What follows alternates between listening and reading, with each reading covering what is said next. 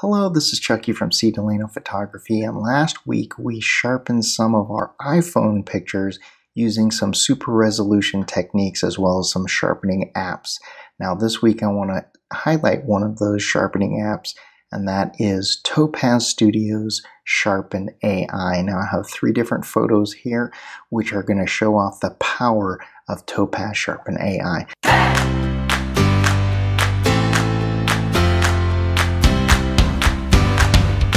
First one, if you look at this, I absolutely love the lighting, but we did not get the focus in very well. And let's zoom in and you can see that this photo is just out of focus. But we can save this photo with this app.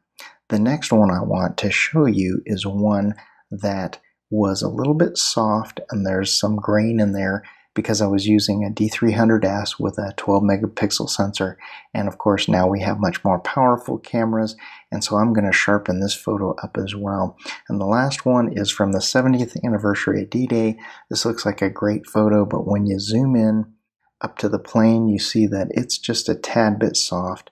And when we come over to the actual building, you can see that because of the panning that I was using, the building was a little bit out of focus through the stabilize. So I'm going to show you how to fix all three of those different types of photos with Topaz Sharpen AI. Let's take a look at the first photo that was out of focus. I'm going to open that photo, which is on my desktop.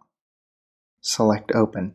Now each time that it does a preview, it's going to automatically go through the processing. So uh, if you don't want to do that, you can turn this off as soon as it processes the first time. Now, as you can see right here, it's done an amazing job. So I'm going to zoom in 200% so that you can see this a little bit better right here. And then I'm going to go to the focus because that's actually what we want. I'm going to leave it in the defaults 50-50, but I'm going to add just a little bit of grain here and then update the preview. As you can see here, it brought back all this focus and it has done an amazing job. Let's scan this over.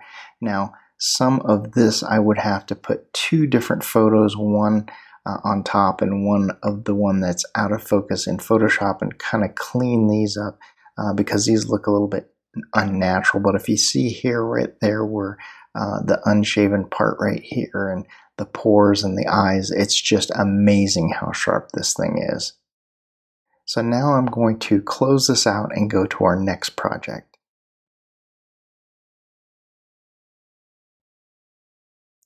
Now let's take a look at this one. As we can see right here, it is amazing how much detail it's getting back in the lips. I'm going to bring this up to 200%. And then I'm going to update the preview after I move this.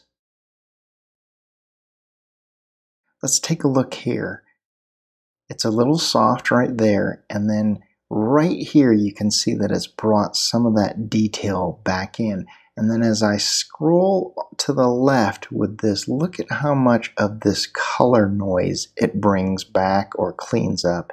It is just absolutely amazing. I just absolutely love this thing. That was the sharpen process mode. Once again, this is on the default. The last one I'm going to show you is going to use the stabilized processing mode, and that is one that you use when something is out of focus because you moved.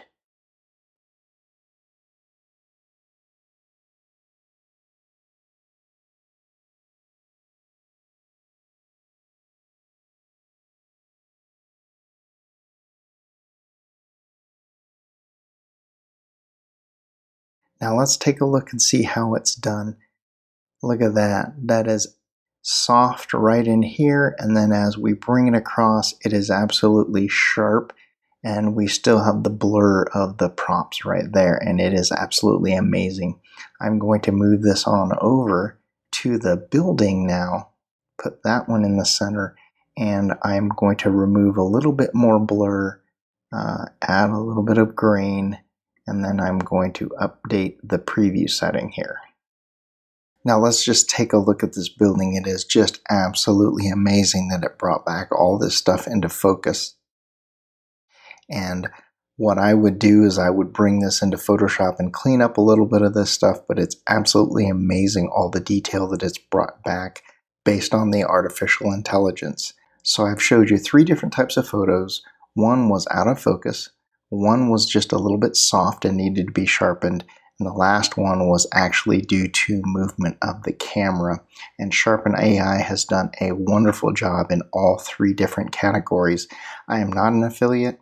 Uh, there is one caveat to this software. Right now, it only works on JPEGs.